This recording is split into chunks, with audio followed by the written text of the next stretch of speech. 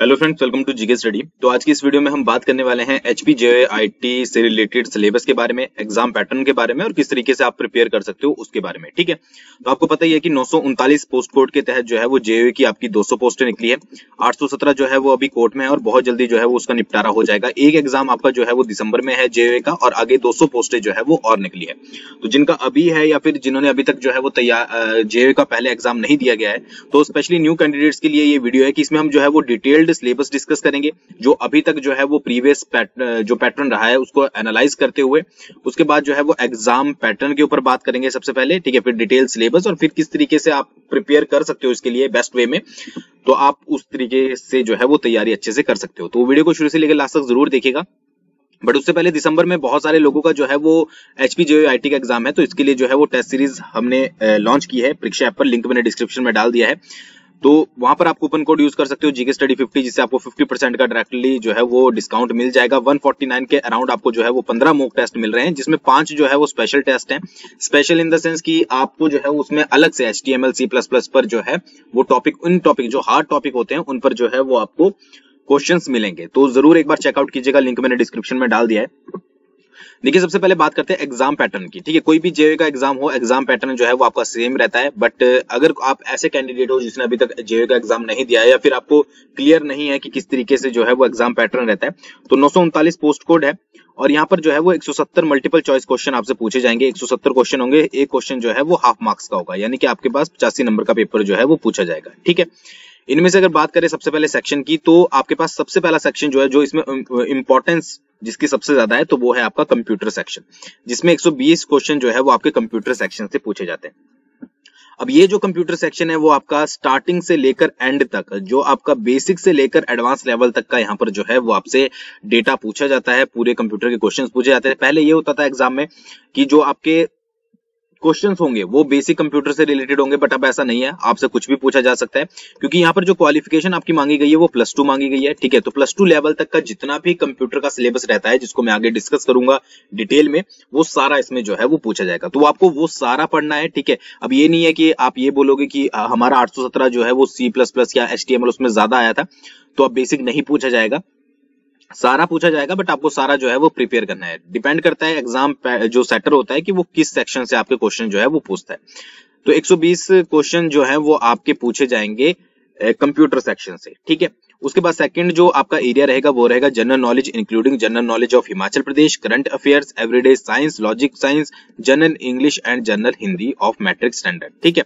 तो 50 क्वेश्चन जो है, वो आपके इससे पूछे जाएँगे 10 आपके इंग्लिश के हो जाएँगे 10 हिंदी के हो जाएँगे प्लस आपके जीके के, कुछ आपके साइंस वगैरह के क्वेश्चन जो है, वो यहाँ पर पूछे जाएँगे। तो फिफ्टी क्वेश्चन यहाँ पर मिक्स पूछे जाएँगे। ठीक है? तो ये आपका जो है वो एग्ज़ाम पैटर्न जो है वो रहने वाला है।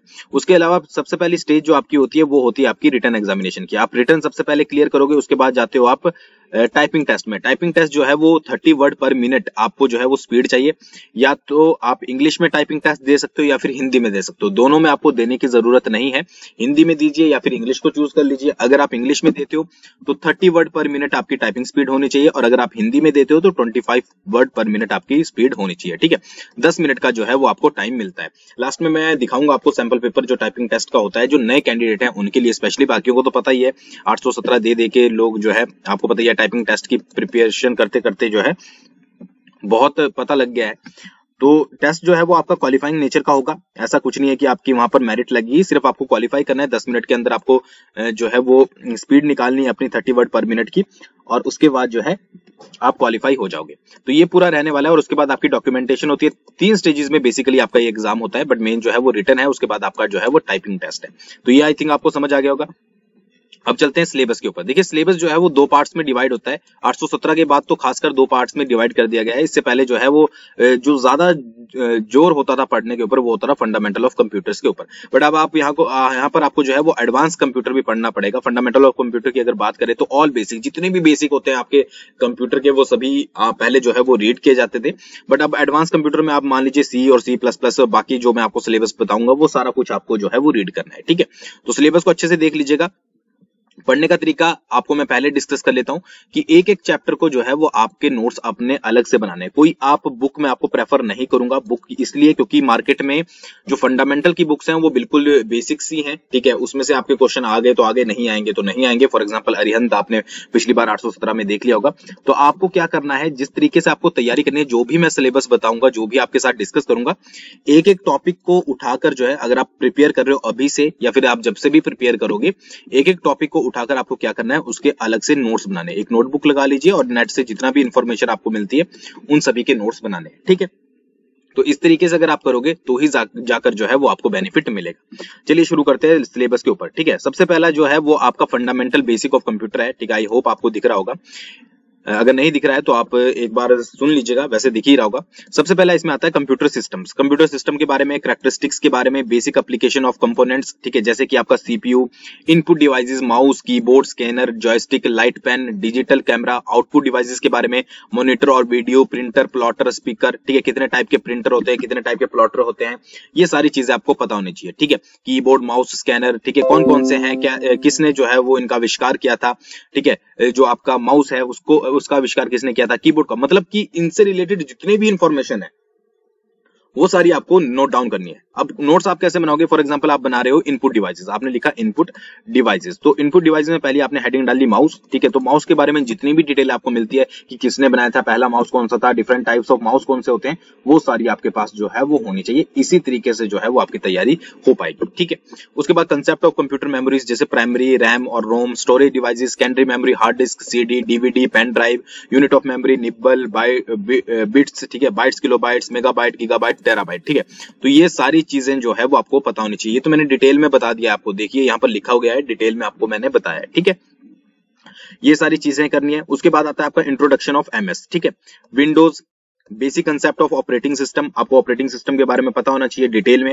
And its functions desktop icon and desktop my computer recycle bin task bar start menu menu selection using mouse ठीक है, ये सारी चीज़ें आपको पता होनी चाहिए। फॉर एग्ज़ाम्पल आपसे कुछ पूछ लिया जाएगा कि स्टार्ट मेन्यू में जो है वो ये चीज़ कैसे आप जो है वो फाइंड आउट करोगे। क्वेश्चन कोई भी पूछा जा सकता है, ठीक है, आठ सौ सत्रह को देखकर आपको लग गया होगा तो इसलिए मैंने ये डिटेल्ड सिलेबस आपके लिए निकाला है, जो कि प्लस टू तक का है। तो आपको बहुत ज़्यादा बेनिफिशियल ये रहेगा। Running and application setting system date and time window explorer to view file folders directories ठीक है? क्रिएटिंग रीनेम और डिलीटिंग ऑफ़ फाइल्स ठीक है फ़ाइल और फोल्डर को आप किस तरीके से क्रिएट करोगे रीनेम करोगे basic window accessories note pad word pad paint calculator mouse button function left right scroll button ये माउस बटन से फ़ंक्शन से क्वेश्चन जो है वो ज़रूर पूछा जाता है। तो इस तरीके से जो है वो आपका दूसरा सेक्शन जो है रहने वाला है। पहला सेक्शन आप बिल्कुल बेसिक पढ़ोगे, उसके बाद आप जाओगे विंडोज़ के ऊपर विंडोज़ से रिलेटेड सारी चीज़ें जो है वो आपको पढ़नी है, ठीक है? आगे बढ़ते फिर आता है आपका digital literacy advance handling of ठीक है ओवरहेड प्रोजेक्ट्स डिजिटल स्क्रीन जैसे एलईडी एलसीडी प्लाज्मा इनके बारे में आपको पढ़ना है, ठीक है? पिक्सल्स वगैरह क्या होते हैं, क्या चीज़ें होती है फैक्स मशीन क्या होती है स्पीकर्स क्या होते हैं, ये सारी चीज़ें जो है वो आपको पढ़नी है। फिर आना है आपको नेटवर्क और इंटरनेट कंसेप्ट पर, जैसे इंट्रोडक्शन ऑफ़ नेटवर्क तो नेटवर्क जब आप इंट्रोडक्शन करोगे तो आपको पूरा नेटवर्किंग के बारे में पढ़ना है, ठीक है? क्लासिफिकेशन ऑफ़ नेटवर्किंग जैसे लैन मैन वैन पैन ये मैंने आपको पहले भी कराया था, ठीक है? डिफरेंसेज ऑफ़ नेटवर्क ठीक है? ये सारा चैप्टर जो है वो आपका नेटवर्क का हो गया। उसके बाद introduction to internet internet history of internet आपको पढ़नी है browsing internet through various search engine such as Google के बारे में आपको पता होना चाहिए याहू के बारे में बिंग के बारे में और ईमेल से रिलेटेड आपको सारी चीज़ें जो है वो पता होनी चाहिए, ठीक है? तो जब आप लिखोगे तो ये सारी चीज़ें आपको बुक में अगर मिलती है तो ठीक है, नहीं मिलती है तो आपको इंटरनेट पे सर्च करना है, ठीक है? जितनी ज़्यादा जानकारी आपको मिलेगी, उतनी ज़्यादा जानकारी आपने जो है वो नोट्स नोट डाउन करनी है, ठीक है? फिर आपका डिजिटल डॉक्यूमेंटेशन में वर्ड प्रोसेसिंग में एमएस वर्ड ठीक है? Introduction to word processor print and print preview ठीक है? Inserting word art clip art and pictures pages setting superscript और सबस्क्रिप्ट ठीक है? एमएस वर्ड के बारे में आपने पढ़ना है एमएस पावर पॉइंट के बारे में आपने पढ़ना है एक्सेल के बारे में आपको पढ़ना है, ठीक है? ये सारी चीज़ें जो है वो आपको करनी है। उसके बाद आता है आपका कंप्यूटर एंड इट्स एप्लीकेशन ठीक है? ये अब आपका जो है वो थोड़ा हाई लेवल का जो है वो आपका चला गया। Block diagram of computer concept of memory primary और secondary memory input and output devices concept of software ठीक है? ये दोबारा से वही रिपीट हो रहा है। नंबर सिस्टम आपको पढ़ने हैं, ठीक है? बहुत इंपॉर्टेंट है नंबर सिस्टम बाइनरी और decimal conversion between binary and decimal number system ठीक है? किस तरीके से आप कन्वर्जन करोगे बाइनरी को डेसिमल में डेसिमल को बाइनरी में? ये चीज़ें जो है वो आपको पढ़नी है, ठीक है? सिस्टम सॉफ्टवेयर और एप्लीकेशन सॉफ्टवेयर क्या होते हैं, ये भी आपको पढ़ने वेब ब्राउजिंग क्या होती है, ठीक है? मल्टीमीडिया ऑन द वेब क्या होता है? वेब सर्च इंजन कौन कौन से होते हैं? ईमेल ट्रांसमिशन मीडिया जैसे कि गाइडेड मीडिया ट्विस्टेड पेयर को केबल ऑप्टिकल फाइबर्स ठीक है अनगाइडेड ट्रांसमिशन मीडिया जैसे radio waves microwaves satellite WiFi network classification LAN MAN van PAN ये सारी चीज़ें जो है वो आपको पढ़नी है, ठीक है? वैसे मैंने जब 817 पे ये सारी चीज़ें जो है वो करवाई थी, बस थोड़ा सा हम वहाँ चुके थे कि हमने जो है वो एडवांस लेवल का थोड़ा नहीं पढ़ा था। तो ये चीज़ें सारी आपको पढ़नी है। फिर आपका कंसेप्ट ऑफ़ डेस्कटॉप पब्लिशिंग ठीक है application of DTP comparison of word processing, introduction to PageMaker, creating a new publish uh, public uh, जो publication होता है using PageMaker, saving a file PageMaker ठीक है ये PageMaker के बारे में आपको जो है वो सभी कुछ जो है वो पढ़ना है। उसके बाद अंडरस्टैंडिंग फोटोशॉप फोटोशॉप से रिलेटेड भी क्वेश्चन पूछा जाता है। Classification of image bitmap vector image उसके बाद images type images size resolution creating a digital collage ठीक है। उसके बाद working with files tool box drawing with pen tool creating brush file ठीक है uh, और stocking section layers transforming and typing rotating cropping flipping images ये सारी चीज़ें जो है वो आपको पढ़नी है। सबसे बेस्ट रहता है कि अगर आपके पास कंप्यूटर है, या फिर आप किसी कंप्यूटर सेंटर में जाते हो तो वहाँ पर इन चीज़ों को जो है, जो ये आपका होता है कि किस तरीके से रिक्रिएट करना है ठीक है, किस तरीके से आपको जो है वो फोटोशॉप यूज़ करना है तो वो सारी चीज़ें जब आप ओपन करोगे तो आपको जो है वो ज़्यादा बेनिफिट यहाँ पर मिलेगा। फिर यहाँ पर कंप्यूटर नेटवर्क आपको पढ़ने हैं, ठीक है? इट्स एडवांटेजेस और disadvantages network operating system and its features आपको नेटवर्क ऑपरेटिंग सिस्टम होता है, उसके फीचर्स पढ़ने overview and history of Linux Linux kernel Linux resources advantages of Linux creating and viewing files basic shell concept shell commands ठीक है? IO redirection pipelines VI editor cyber laws ये सारी चीज़ें आपको जो है वो रीड करनी है। उसके बाद window NT and its advantages difference between Linux and window NT Linux firewall and its types managing storage devices understanding basic disk concepts and manage system disk ठीक है? और फिर उसके बाद logical volume concepts and managing logic volumes swap space mount point view ये सारी चीज़ें जो है वो आपको पढ़नी है, ठीक है? फिर आपको कोरल ड्रॉ पढ़ना है ठीक है? ये भी आपका उसमें जो है वो सिलेबस में दिया गया है प्लस टू तक के। बट ऐसा नहीं है कि आपके पास पीछे पूछा नहीं गया तो, तो अब भी नहीं पूछा जाएगा। Various components of Corel Draw क्या होता है? विंडो टूल्स जो है कोरल ड्रॉ के कौन कौन से होते हैं?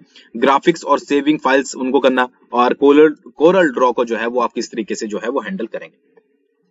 Most important difference between X S T M L और एच टी एम एल तो यहाँ पर एच टी एम एल का अगर नाम आया तो इसके बारे में डिटेल में आपको जो है वो पढ़ना है, ठीक है? किस तरीके से एच टी एम एल में क्या क्या चीज़ें जो है वो बेसिक बनाई जाती है, कोई पिक्चर्स आप कर रहे हो तो क्या टैग जो है वो आप इंसर्ट करोगे? Fundamental of P H P its advantages variables data types ठीक है? Operators scope of variables control program flow decision settlement and जो है वो लूपिंग स्टेटमेंट तो ये सारी चीज़ें जो है वो आपको पढ़नी है। इसके अलावा सी लैंग्वेज और सी प्लस प्लस ठीक है? और पाइथन और जो जावा होती है आपकी, उसके बारे में भी आपको अच्छे से जो है वो रीड करना है। तो सिलेबस ये मत सोचेगा छोटा है। आप छोटी सी किताब लेकर जो है उसको कवर कर लोगे, ऐसा कुछ नहीं है। जब आप इसके नोट्स बनाओगे तो अच्छे खासे नोट्स इसके बनेंगे और आपको जो है वो अच्छा खासा कॉन्फिडेंस भी जो है वो अपने ऊपर रहेगा।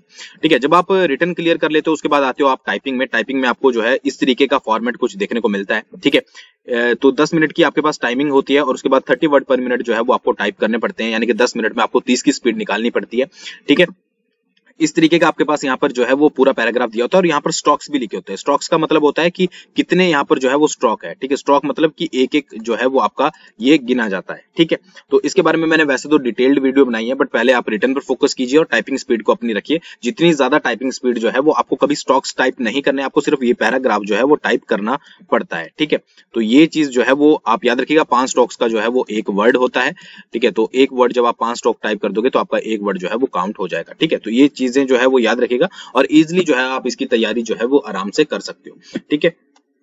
तो इस तरीके का सैंपल जो है वो आपका रहता है। बाकी डिटेल में कभी मैं आपको और दिन बताऊँगा। वैसे एक वीडियो भी मैंने बनाई है, उसको आप देख सकते हो। मेन था सिलेबस आप के साथ जो है वो शेयर करना और मैंने बता दिया कि किस तरीके से आप जो है वो अच्छे से नोट्स बनाकर जो है वो तैयारी कर सकते हो। वीडियो पसंद आई हो तो लाइक ज़रूर कीजिएगा शेयर ज़रूर कीजिएगा। थैंक्स फॉर वॉचिंग बहुत जल्दी मिलेंगे नेक्स्ट वीडियो के साथ।